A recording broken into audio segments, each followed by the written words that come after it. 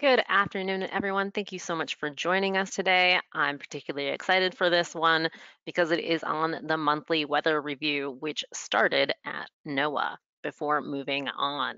So today's seminar uh, is on the monthly weather review, the oldest continuously published meteorological journal in the world, and publishing its 150th volume in 2022. So uh, first, some logistics. You are all, as an attendee, muted, and there is no chat function. So if you do have questions, please place them in the question panel. We are recording this seminar, so if you leave a comment or question, we will be recording your name and your email and that question or comment to be shared with the speakers at the end of the presentation. We are also recording this and posting it up on the library's YouTube channel. So if you have to step away or if you would like to share this with a colleague, you can find it there after the fact. Uh, and with that, I'm going to introduce our speakers today. First is Professor David Schultz. He's the monthly weather review chief editor, born in Pittsburgh. Ooh, I totally butchered Pittsburgh. Born in Pittsburgh with degrees from MIT, University of Washington, and SUNY Alabama, Alabama. Ooh, today is a rough oh, day. no, that's Albany. SUNY Albany. He has been at the University of Manchester since 2009. He wrote Eloquent Science, a practical guide to becoming a better writer, speaker, and atmospheric scientist. We should probably have you come on and speak about that book also. Uh, next, we have Sean Potter, who is a meteorologist and weather historian whose career includes work for ABC News, WeatherWise, and the National Weather Service. He holds AMS certifications in both consulting and broadcast meteorology and is the author of Too Near for Dreams, the story of Cleveland Ab Abbe, America's first weather forecaster. And with that, I'm going to turn it over to Dave to kick us off. Thank you, Katie. As, as Katie mentioned, next year, Monthly Weather Review is going to publish its 150th volume. And despite this very long existence, we've never seen the history of this journal being well documented at all, even down to such simple questions as who the editors were for much of its early history. So to celebrate its 150th volume, Monthly Weather Review is going to publish a historical review in its January 2022 issue. It was a fascinating story to tell, and it brought Sean and I together, and and we learned so much in pulling it together. And we're pleased to tell you just a very small part of of this story today. Um, so for the full story, check out our article in in January. Now, as you probably know, the U.S. Weather Service came into existence with the passage of a joint resolution of Congress in February 1870, and it authorized the Secretary of War to take meteorological observations at military posts around the country and use the telegraph to give warning of approaching storms across the country. The service, the Weather Service, initially fell under the auspices of the U.S. Army Signal Service, and uh, there was a need to present this brief history of the weather and storms across the US as quickly as possible after the weather um, happened, as, as this quote indicates on the screen.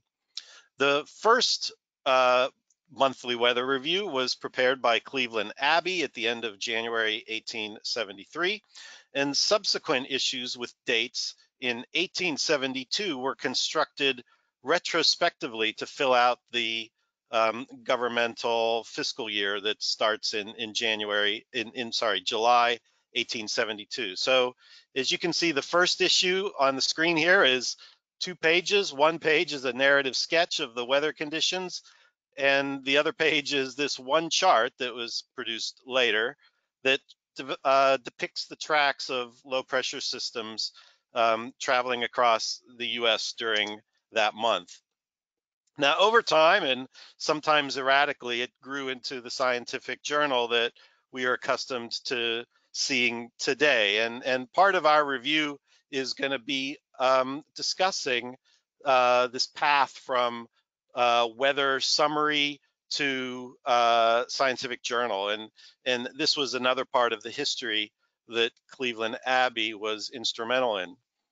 Now, Monthly Weather Review is, is just one of the longest running continuously published journals in the world for meteorology. And it's had three different publishers. First, as we mentioned, with the Signal Service, then transferred to the civilian government agency, the Weather Bureau, which was later subsumed under um, different organizations within the Department of Commerce, ESSA, and, and eventually NOAA.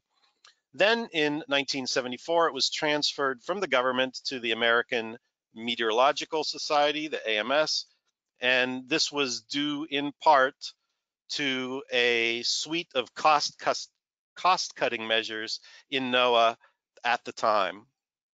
And uh, as chief editor of Monthly Weather Review since 2008 and, and with a service to the journal before that, I've been wanting to write the history of uh, Monthly Weather Review for a long time, and its 150th anniversary gave me the perfect opportunity. And so, coupled with Sean's expertise in the history of meteorology in Cleveland Abbe around this time, uh, we made a great team in pulling this article together. It's been a real pleasure to work with him. Um, it'll be published, as I said, in the January 2022 issue.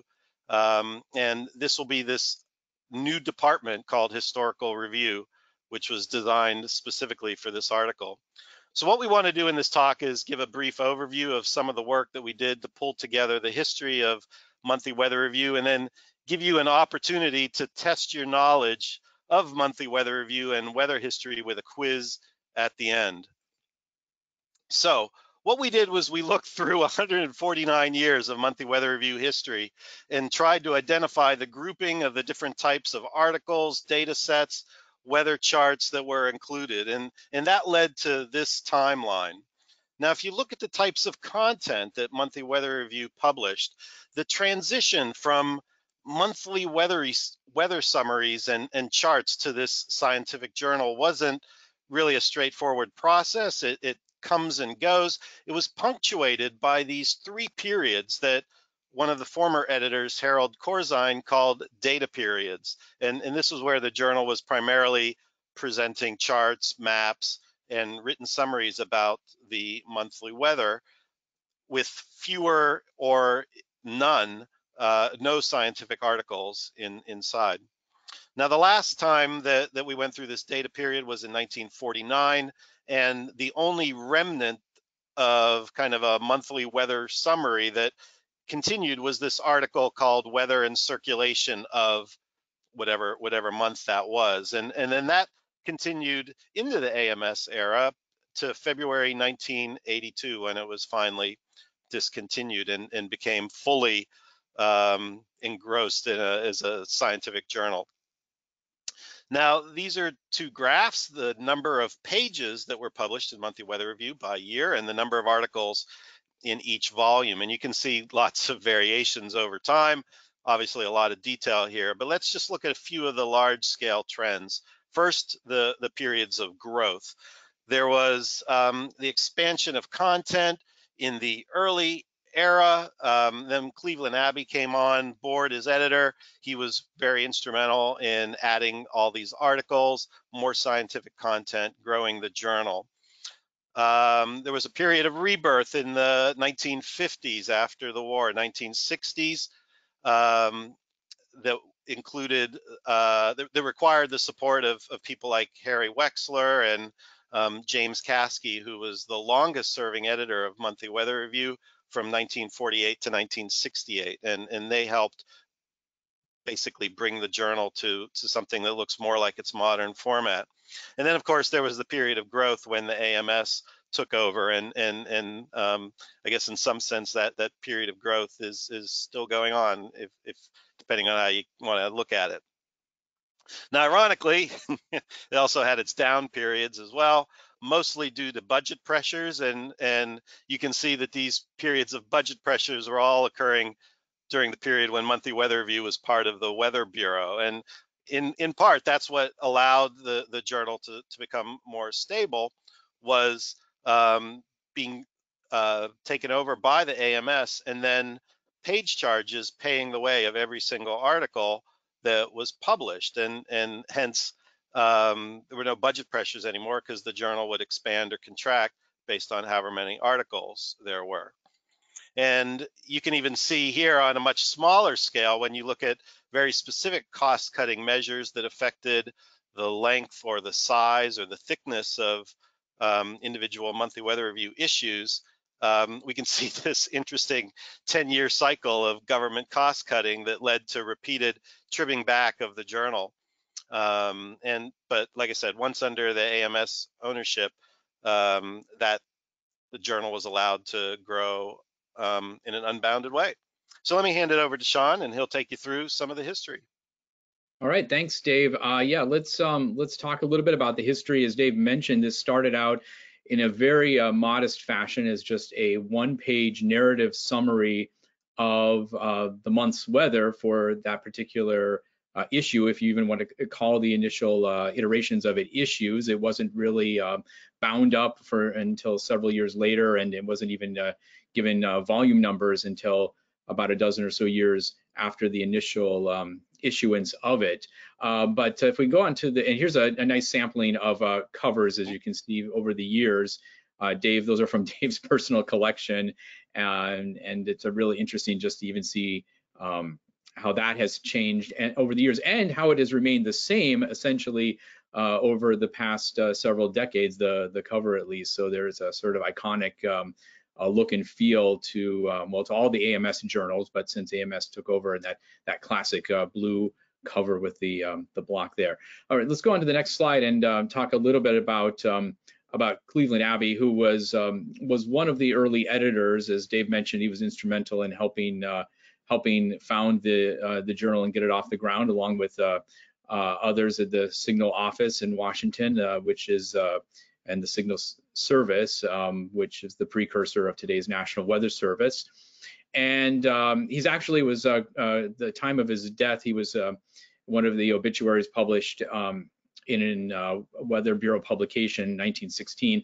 Uh, he was credited with having um, having prepared um, 22 of the uh, first 60 issues. Now, none of those issues had uh, had attribution given to them in terms of uh, who was editor or preparer of it. It was, and we get into this in detail in the article about um, uh, who who were the uh, the personnel who prepared it. Essentially, they were the indications officers at the time. Indications was the term that the Signal Service used at that time for forecasts. So the officials who were preparing the daily forecasts uh, for a given month were also had the responsibility of preparing some of the publications, including monthly weather review, and um, eventually. Um, there were individual editors assigned, and Abbe uh, took on the role, the formal role as editor in 1893 and remained in that position until 1909 when uh, when he was actually uh, demoted um, by the uh, the chief of the bureau, uh, Willis Moore, uh, having to do with a, a controversy in, involving um, the establishment of an observatory in Mount Weather, Virginia, in the Blue Ridge Mountains. so he was removed as, as sort of as part of that um, um, demotion. His, his salary was reduced. Uh, he was removed from his post as editor, uh, um, and he was actually shipped off to uh, to Mount Weather and and spent a, about a year there, where he was put in charge of a uh, a new um, and, and short-lived uh, journal that the Weather Bureau was uh, publishing called Bulletin of the Mount Weather Observatory, which was where they were going to be publishing their more technical papers. Um, and, and monthly weather review at that time kind of took a, a turn as one of uh, Corzine's um, data periods that he referred to that, that, that Dave mentioned, where it took on um, uh, less of a technical role and, and had less of a uh, of, of, a narrative um, flair, if you will, that Abbe really added to it. So to kind of um, back up a little bit, while he was uh, in charge of the um, of the the journal, he really did uh, do a lot to to take it from just a, a collection, a summary of uh, climatological events and and data, and really turn it into a scientific journal. He uh, he solicited contributions from a wide range of potential authors, including uh, some who were well outside the field of meteorology, um, including um, the Wright brothers. Uh, he corresponded with them uh, during their instrumental uh, experiments, uh, and uh, and also there were some individuals. There's documentation that he solicited articles from Booker T. Washington and even Theodore Roosevelt, who at the time was serving as Civil Service Commissioner.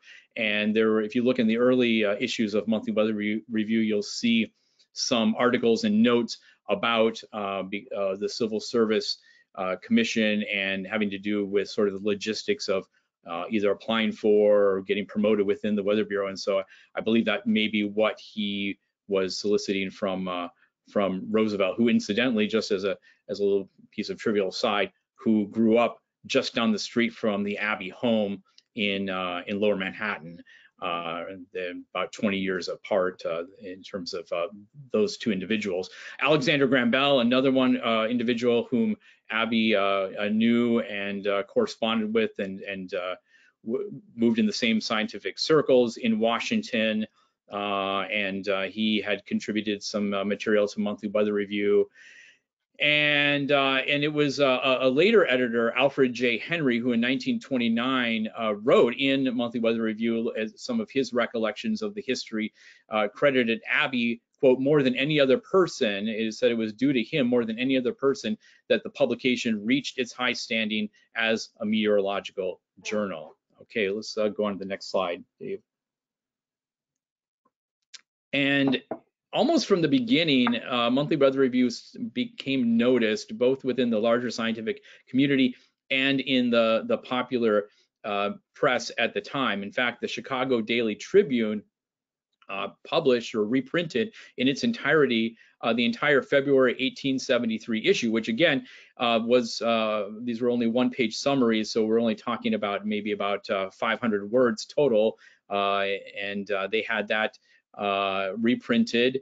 And the, around the same time, the Knoxville uh, Daily Press and Herald in its uh, March 19, 1873 edition um, referred to the uh, monthly weather review and some of the other publications of the signal service and the advantage that these reports had and the interest manifested uh, by them.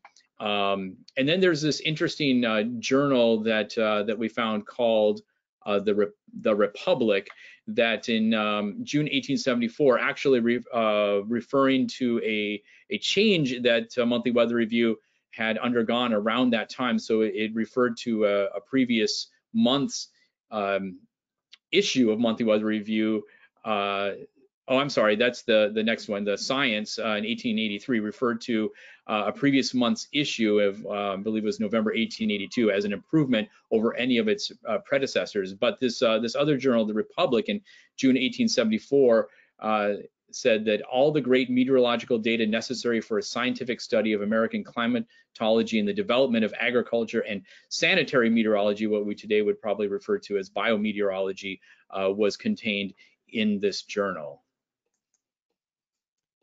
and so it, it developed a very large readership. Um, copies were were shared among uh, the volunteer observers at the, in, in, the Signal Service and the Weather Bureau, other libraries, um, and it really developed a reputation as a prominent scientific journal uh, of its time uh, devoted to meteorology.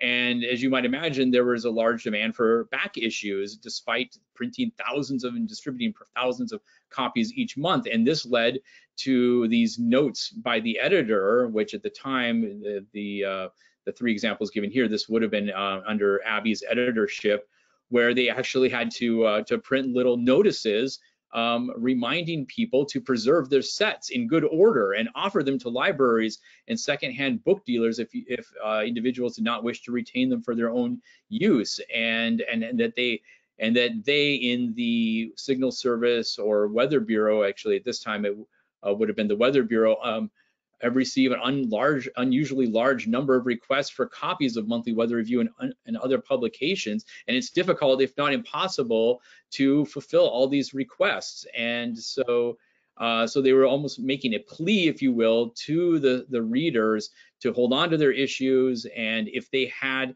back issues that they didn't want even to send them back to the Weather Bureau to then uh, then distribute on to others who were looking for some of these issues.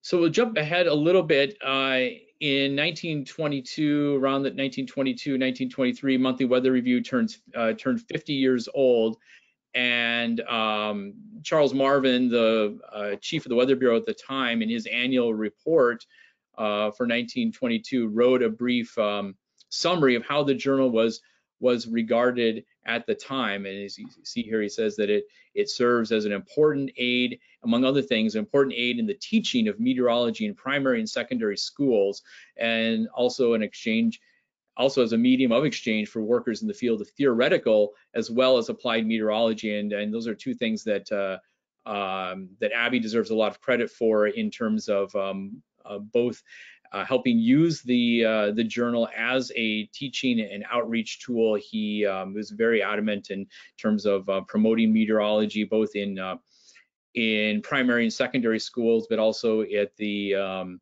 post-secondary and graduate level and actually was instrumental in helping create the first graduate program in meteorology at Johns Hopkins University. Uh, he corresponded with people, I mentioned uh, Booker T. Washington at the Tuskegee Institute offered to send him copies of the journal uh, as, a, as a teaching and outreach uh, uh, tool there. So, uh, and then and then worked also to help um, infuse a lot of of research uh, that was taking place at that time in theoretical meteorology, which I think is a good segue into the next slide uh, that talks about some of the material published and a lot of it well after Abbe's tenure, in fact, after his death, um, relating to the uh, the Bergen School methods of synoptic analysis. Um, of course, the polar front theory of Wilhelm Bjerknes and, and his cadre of um, of researchers in Norway uh, and, and so here's just a, a, a, few of the things that were uh, that were published around that time, including um, Anne Louise Beck, the second from the bottom there is, is one of particular interest. Uh, and that's a, a, very interesting story in and of itself. Um, she uh, was a college student in, in California who received a fellowship to go study and at the Bergen School in Norway. And uh, and came back and uh, and had published a paper. One of the few women at the time who had published something in Monthly Weather Review, um, and we talk a little bit about that in the paper as well. All right. So uh, as Dave mentioned, when the chart showing how the uh, uh, the pages and sort of the the success of the journal, if you will, ebbed and flowed over the years alluded to the post-war, post-World War II period.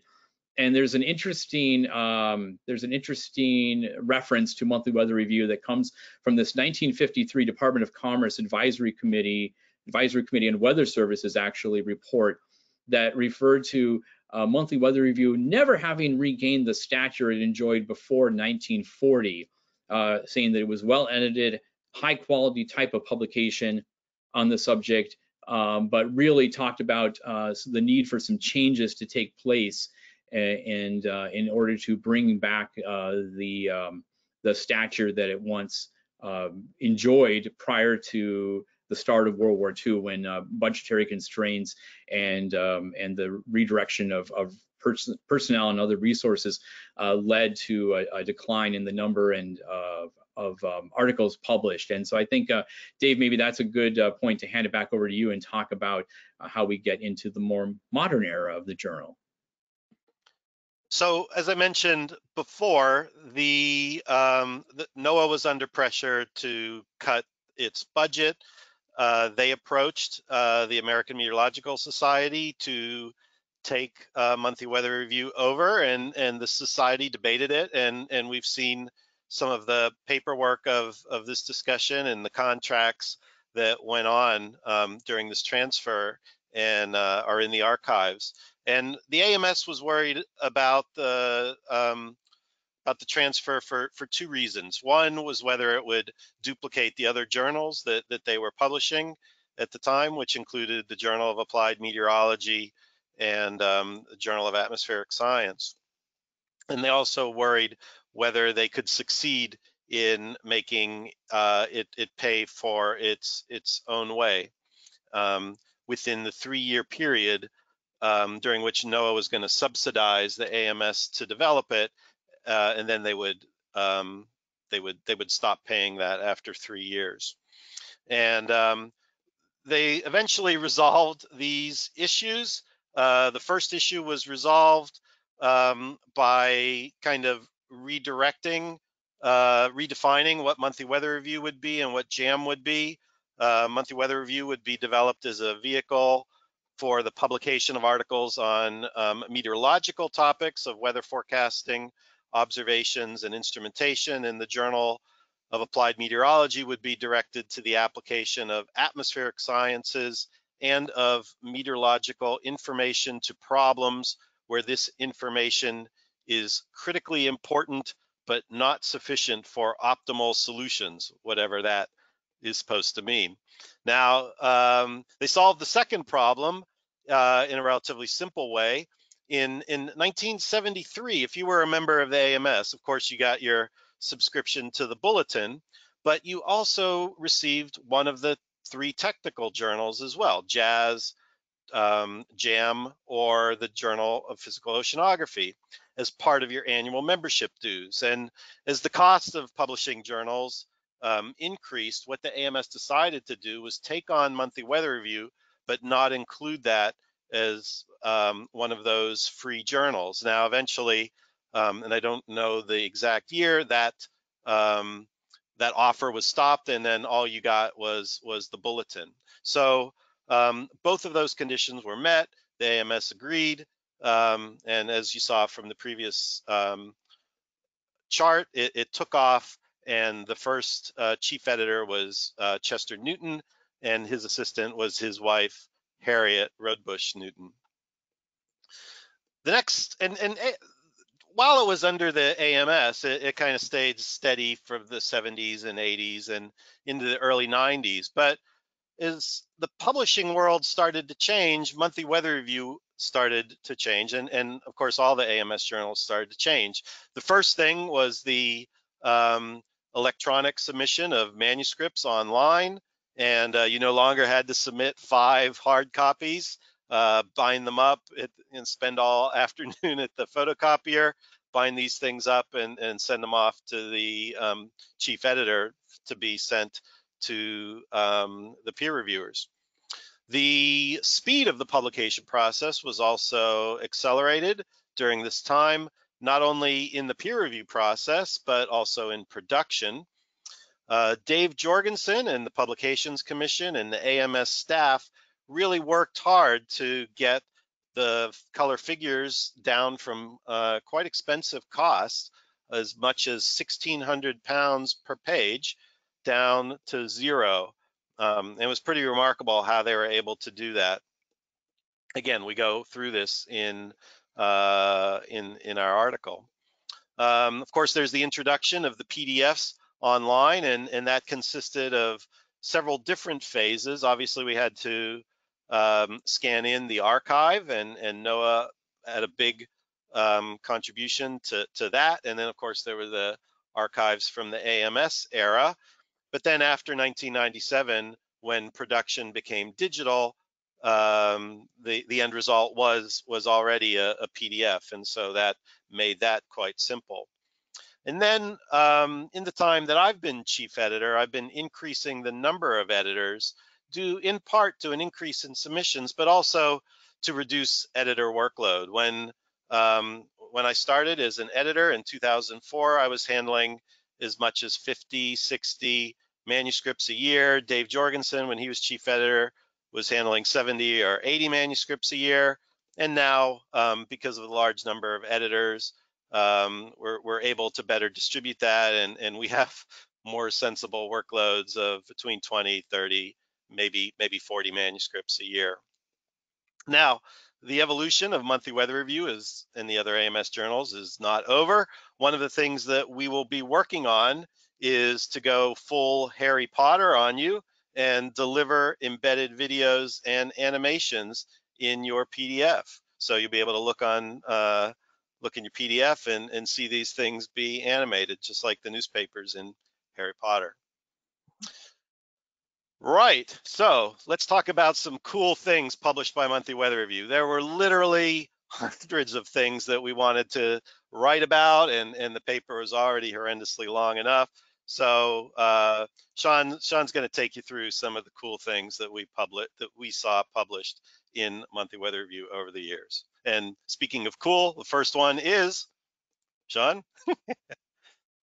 is uh, yes, Wilson Bentley's photographs of snow and ice crystals and frost. Uh, as many of you know, Wilson Bentley from Jericho, uh, Vermont, was a, a meteorologist who um, who had a passion, let's say, for uh, for photography, especially micro photography, and had this uh, very uh, elaborate, especially for that time, homemade um, apparatus that consisted of a, of a large format view camera and a microscope attachment and this whole um, this whole system of gathering the snow crystals, preparing them, uh, putting them in, on uh, glass plates or slides, and then photographing them. And um, and and Abbe became aware of this, and uh, as did others, and corresponded with uh, with Bentley and uh, and asked him to contribute some of his uh, some of his photographs to monthly weather review. And um and let's see this was um dave do you know what year this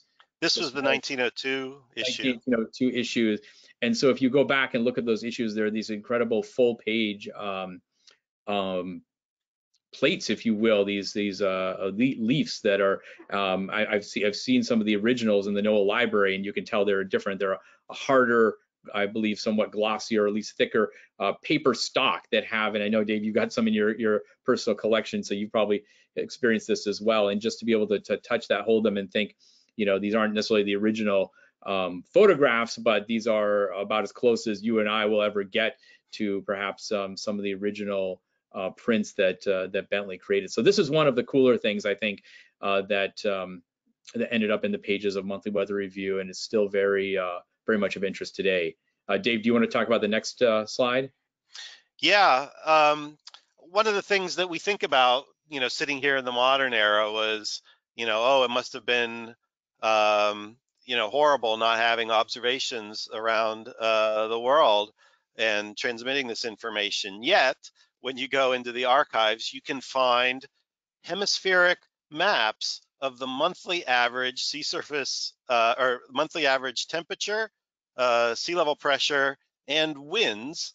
This one is for October 1878, and you can see that it extends over most of the mid latitudes um, around the hemisphere. Of course, we don't know the quality of, of these and how many stations went into them necessarily, but um, extremely remarkable charts. And and uh, again if, if if we just wanted to elaborate more and more in this article um, we, we, could have gone on and on and on about um, all the different types of charts that were published over the years at the end of these monthly issues.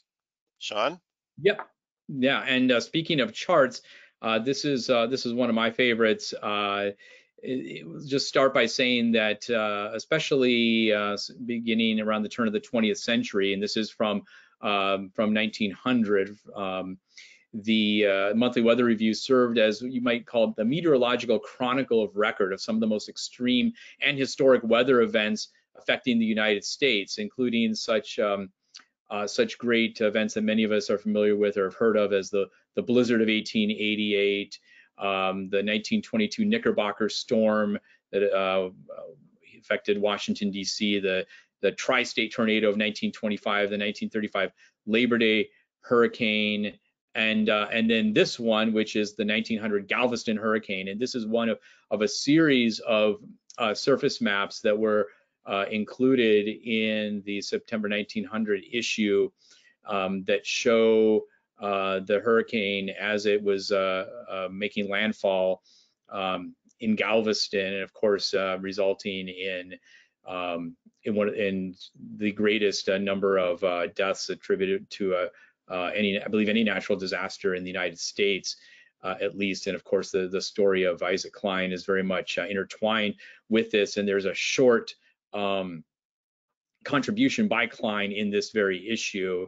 And um, and I think uh, some of this uh, that that report and and some of the um, the charts here uh, were um, were inspirational um, to Erik Larson when he wrote his book Isaac Storm. In fact, I believe in the um, the end papers and the, the, the what you see when you open up his book, at least in the the edition that I have, uh, has one of the the charts from Monthly Weather Review in there, or maybe it's a similar one that was published elsewhere that basically shows the inundation from the storm surge and what parts of Galveston were were flooded and which parts weren't. That's another um, um, map that was included in this series. And so, um, so most of many of these early uh, weather uh, disasters and historic uh, weather events uh, had not only a, a very uh, strong narrative um, component uh, published in Monthly Weather Review, but also a graphical component as well. And especially if you look at uh, it's McDonald 1935 is the the reference for the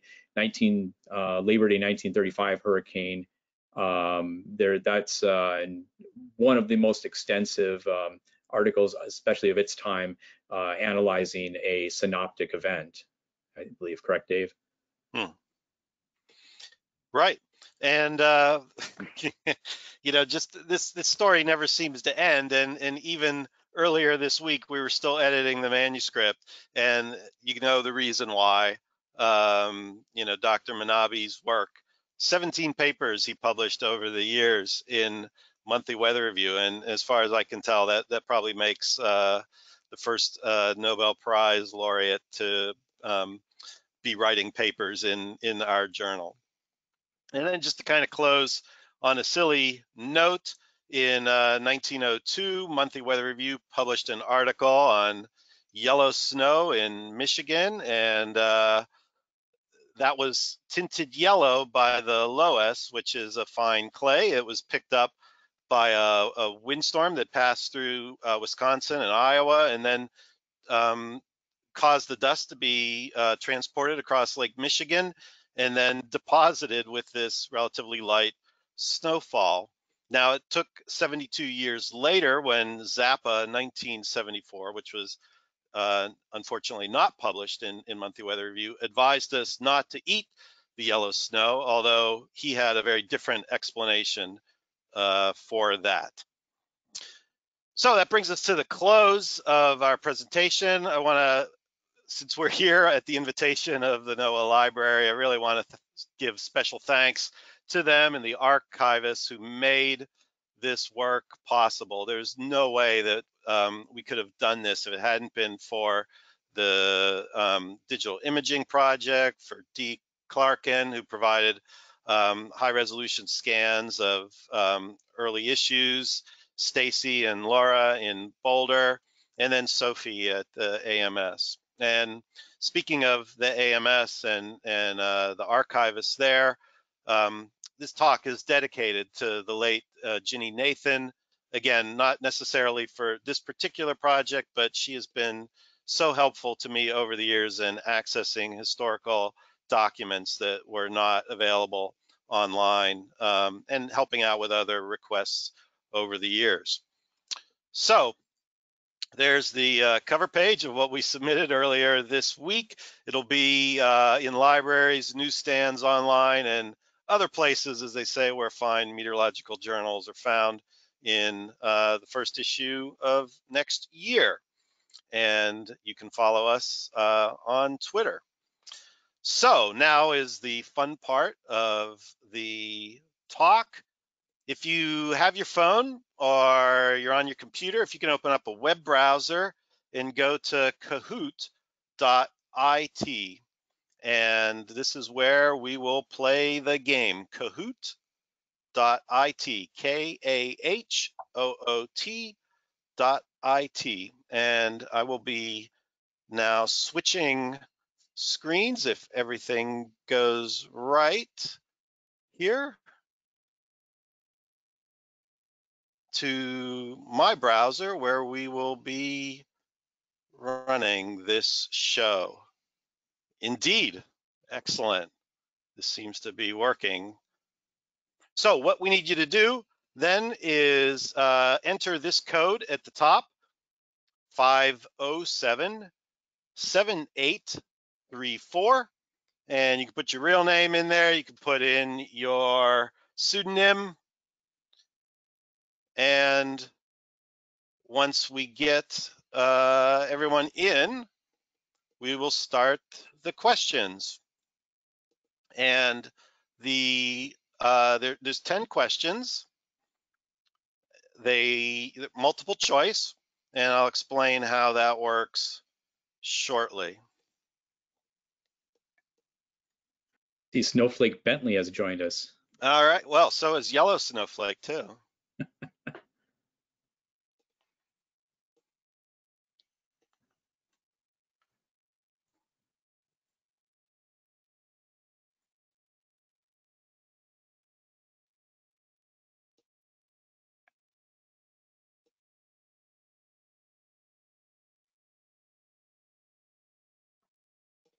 Okay, give it another 20 seconds or so. And You're running a little bit behind. I think the pin number will be displayed as we play the game, so you can always join in late. And I'm going to hop in here real quickly uh, and let everyone know we will be uh, taking questions at the end of the game, uh, depending how much time we have. So if you do have a question about uh, the presentation or anything, place that in the question panel and we will get to that um, as we have time at the end. And if we don't answer that uh, during the seminar, I will send these uh, questions on to Dave and Sean and they can get back to you via email. Great. Thanks, Katie. Let's get started. Okay, so here's some ground rules to, to get started here. If you've never used Kahoot, what you're going to do is answer the question correctly in the shortest possible time. So on your phone or your computer, you're going to see uh, four different boxes, four different uh, shapes, four different colors. Um, and that's where you will click or uh, select your intended answer. So each one of these um, questions are, are multiple choice with four possible answers. So click the color or the shape that goes with the answer you want to go with. Okay, so here's question number one. In 1878, Monthly Weather Review experimented with translating the journal into another language.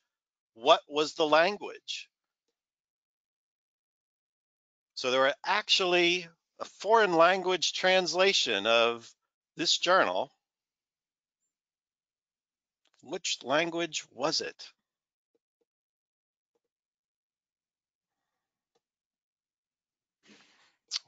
It was French.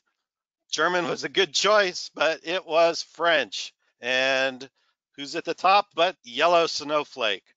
And here's the announcement uh, that, that came several years later where someone, naughty naughty, took the copy of the French edition from the library of the Weather Bureau and they would like it back. Um, we have been unable to find one of these French editions of Monthly Weather it, Review. Let us know. Yeah, it's really valuable. Let us know. Send it back to the library. They, they put it on eBay. All right. In February 1898, Monthly Weather Review published an article advocating for the formation of this society, which was founded 21 years later. 21 years ahead of its time, Monthly Weather Review was advocating for the formation of this society.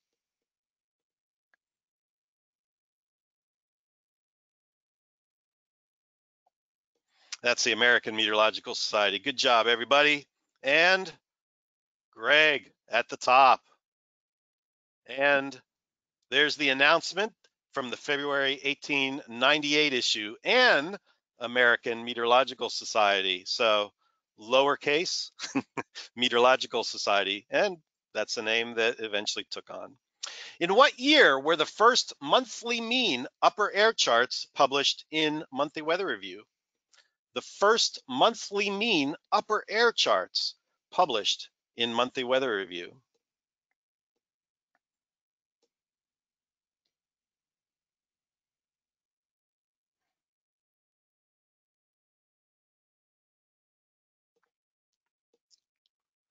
All right, 1903. Congratulations to the four people that got that one right. Lightning Queen at the top. And here is the monthly mean isobars and isotherms at 10,000 feet across the US in January 1903.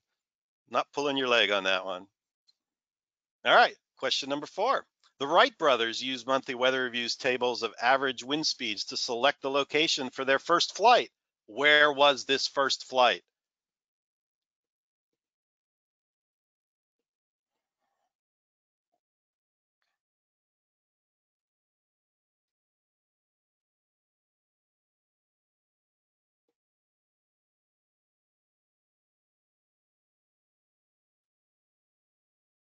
Kitty Hawk. Good job, everybody. And how has that changed the score? Ah, NCEI guy. Nice. Here's the next question. The April 1915 issue of Monthly Weather Review published the first derivation and solution to this equation. What's this equation called?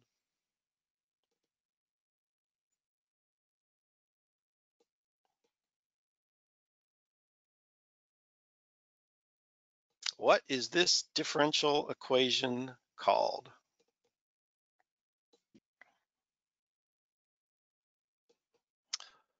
Ooh, wow. One person knew their partial differential equations and names, the Bateman-Burgers equation.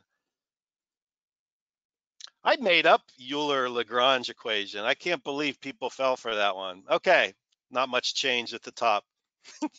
Here we go. Next one. In 1935, the Weather Bureau had nearly 5,000 observers. How many of these 5,000 observers were women? And this is one of those women there out there taking her measurements at her station.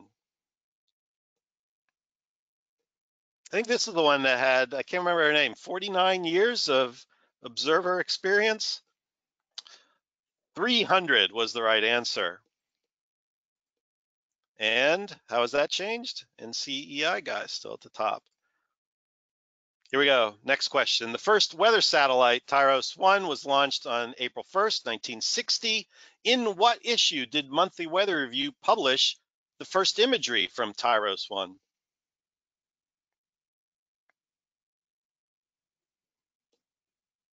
So it was launched April 1st, 1960.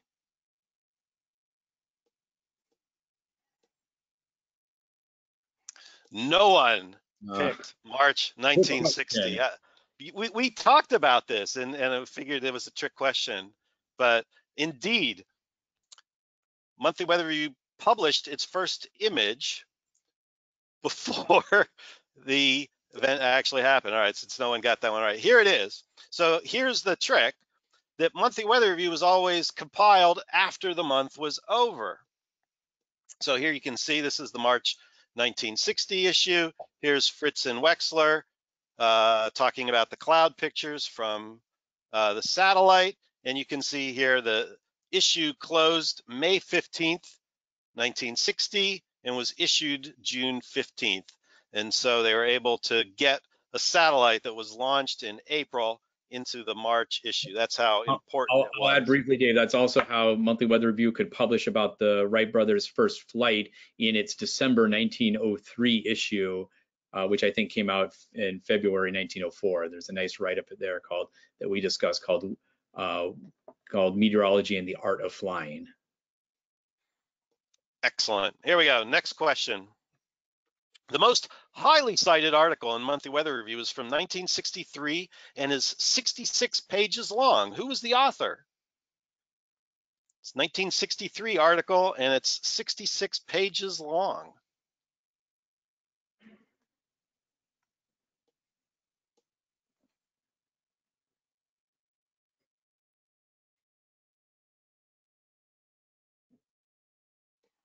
Okay, it's Smagorinsky. Smagorinsky. Uh, also working with Manabe uh, on several other highly cited monthly weather review papers, but this is the paper, uh, Greg's at the top. Good job, Greg. And General Circulation Experiments with the Primitive Equations, the Basic Experiment by Smagorinsky in March 1963. Here we go. Until 1972, it was free to publish in Monthly Weather Review. NOAA then requested a per page payment from the author's affiliation. How much was this? How much were the page charges in 1972? I want to chime in, Dave, and let everyone know if they are just full on guessing, that is what I am doing. And it is a ton of fun. There you go. It's actually forty dollars, which is about was it two hundred and sixty dollars in in modern money. So uh, the present hundred and twenty five dollar per page rate at AMS is a steal relative to inflation. And how has that changed things? NCEI guy, top of the board. Are you guys bringing back that per page count for the 150th? So in 2003, a proposal was floated for a new journal that would have killed Monthly Weather Review. What was the name, proposed name of this journal? 2003, we almost lost Monthly Weather Review and, and well, for that matter, all the other AMS journals. What would this journal have been called?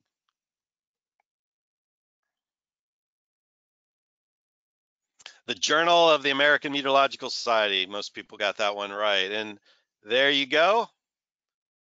It was written by Dave Randall and Kerry Emanuel, a proposal to combine all the AMS journals into a single journal because of the transition to digital publications made this possible.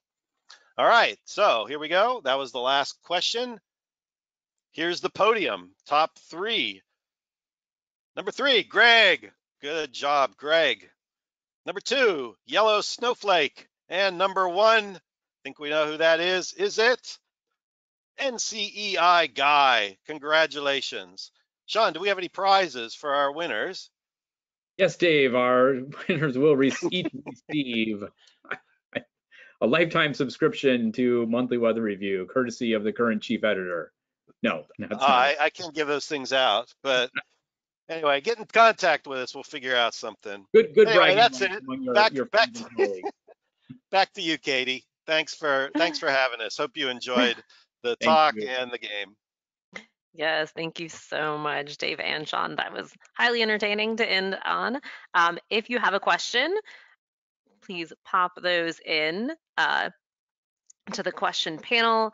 Um, if you have a question about the the timeline of uh, monthly weather review or any other interesting tidbits that came out of their uh, their research into its history, please place those in the question panels.